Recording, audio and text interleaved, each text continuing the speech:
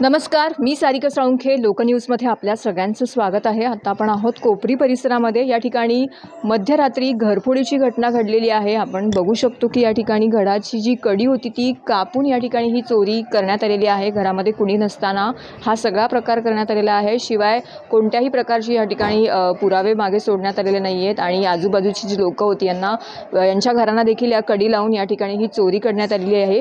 गेल्या कित्येक दिवसांपासून ठाणे शहरांमध्ये घरफोडी जसं घरफोडीच्या घटना आहेत त्या मोठ्या प्रमाणामध्ये वाढ झालेल्या आहेत. अशातच आज कोपरी परिसरामध्ये ही घटना घडलेली आहे. आपण बघू शकतो की संपूर्ण परिसर हा चाळीचा आहे. मात्र कोणत्याही प्रकारचा आवाज न करता अत्यंत शिताफीने ही चोरी करण्यात आलेली आहे. घरामध्ये कुणी नसताना पूर्णतः या संपूर्ण परिसराची माहिती घेऊन हा संपूर्ण प्रकार इथे करण्यात आलेला आहे. त्यामुळे नागरिकांनी दिवाळीचे दिवस आहेत. ह्या सगळ्या घटना लक्षात घेता नागरिकांनी सतर्क राहण्याचं गरजेचं आहे. घरामधल्या आपल्या मौल्यवान वस्ती वस्तू असतील त्या शक्यतो तुम्ही बँकेत ठेवा किंवा तुमच्या दुसऱ्या कुठे विश्वासाच्या असतील अशा ठिकाणी तुम्ही ठेवू शकता. दिवाळीचा सण आहे. दिवाळीच्या सणाच्या पार्श्वभूमीवरती आपण सगळ्या मौल्यवान वस्तू असतो किंवा ज्या काही आपल्या पैसे वगैरे असतात ते घरात ठेवतो. मात्र ह्या सगळ्या ह्याच्या पार्श्वभूमीवरती या परिसरामध्ये ही मोठी घटना घडलेली आहे. चोराने जवळपास एकोणीस ते वीस तोळे सोनं या ठिकाणी या चोरी करून लंपास केलेला आहे.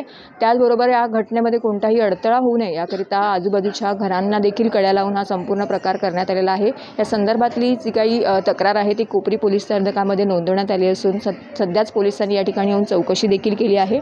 माझं नाव सुप्रिया गुले मी आणि माझे हस्बंड आम्ही वर्किंग आहोत दोघे पण. तर मी काल सकाळी माझ्या ऑफिसला गेले. मिस्टरांसोबतच गेले आम्ही. लेट झाला होतो म्हणून.